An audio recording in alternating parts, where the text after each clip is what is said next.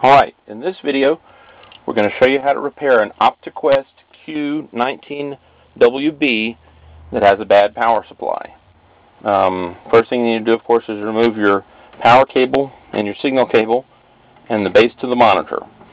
Uh, we've already removed the flat portion of the base to the monitor.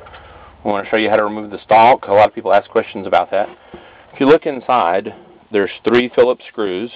So you have to remove those first. So we'll get those out. And it helps to have a magnetic screwdriver so you can lift the screw all the way out.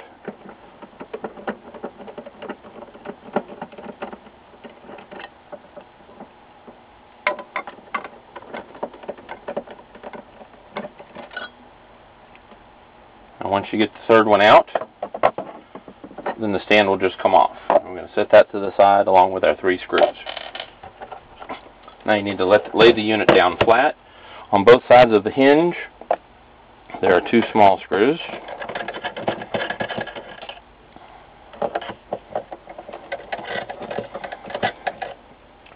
Alright, we have those out. Now you can turn the unit over. And now we need to start removing some of the plastics. Um, first we do is grab in the center and kind of lift and flex it a little bit and it will start coming loose from the little catches. And go to the side and do that and just kind of work your way around. And we have the, the front bezel off. Now the next thing we need to do is remove this little screw that holds the control panel on. Um, there's a cable that plugs in from the control panel to the monitor and you have to be able to remove the control panel to get the display out. Um, the next thing we need to do is use a screwdriver. Um, around all four sides there are plastic catches that actually hold the panel to the back of the monitor and just kind of pry those the, the plastic away from the metal the, away from the monitor and the little catches will come loose. There's little clips. And then there's also some in the center of the bottom. Same kind of thing. Alright. Now the monitor, you notice, starts to lift up a little bit.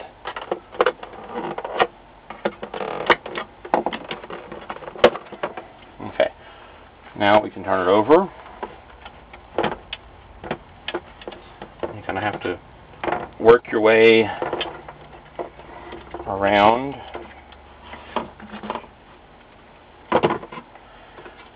pull off your two speakers.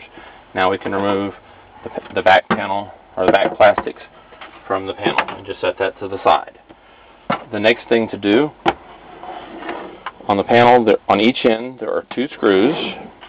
So we need to remove those screws. And they're just Phillips screws.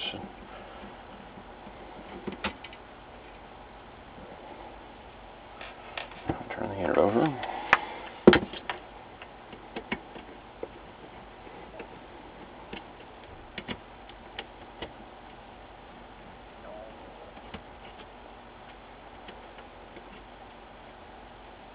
Okay. Now before we can separate the two, we do need to unplug the backlights from the sockets. And they're just little plugs that pull straight out. Some models of monitors have uh, release clasps that have to be um, squeezed to release. These are just pull and, and unplug.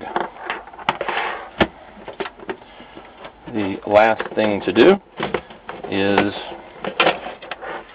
disconnect the signal cable. It's very easy to do on that. Just lay the monitor down. There's two little clasps on each end. So what we'll do is loosen the tape.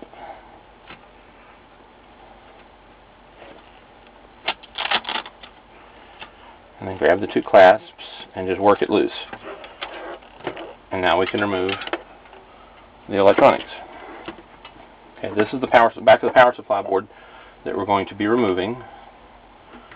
So we have a couple of screws.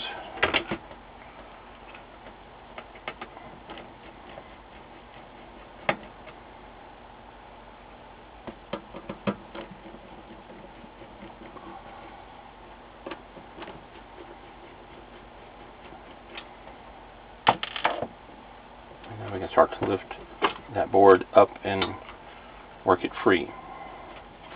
Um, now we'll need to unplug the power supply board from the video board.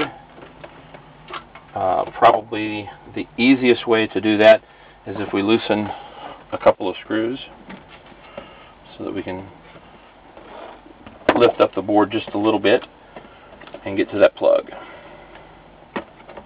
Now we have it unplugged. We need to unplug the speakers from the board and now we have the power supply board. Um, very evident that this large capacitor is bulging. I'm not sure how well you can see it on the video. Um, but while we were replacing it, it's best to go ahead and replace the rest of them on the board. These are the power supply capacitors. These capacitors are for the audio amplifier.